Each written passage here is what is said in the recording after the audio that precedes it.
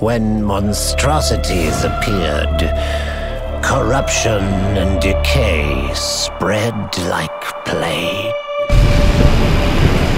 Power-hungry blood mages from an ancient time, claiming thousands.